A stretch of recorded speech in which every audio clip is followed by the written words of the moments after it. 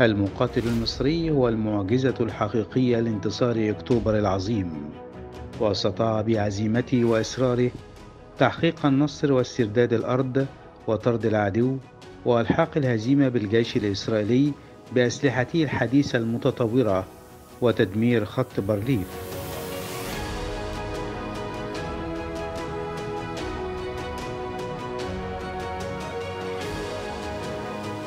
في الثانية ظهرا يوم العاشر من رمضان الموافق السادس من أكتوبر في عام 1973 حانت ساعة الصفر ووجهت القوات الجوية المصرية ضربة استهدفت المراكز الاستراتيجية للعدو الصهيوني في عمق سيناء.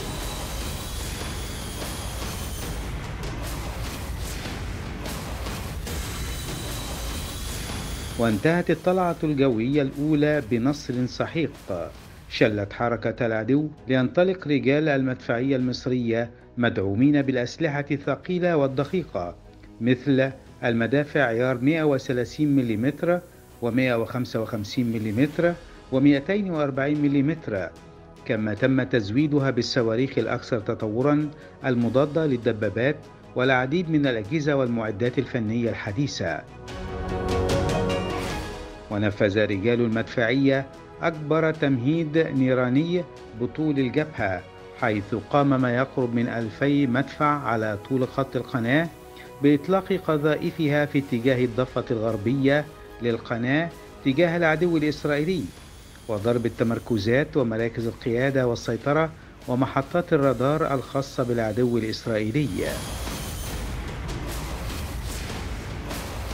وتمكنت المدفعية من فتح الثغرات في حقول الألغام والأسلاك على طول بارليف حيث كان قصفا محكما نتيجة التدريب والتجارب والمعارك وبذلك استطاع المشاة والمدرعات اقتحام الحصون الإسرائيلية والاستيلاء عليها.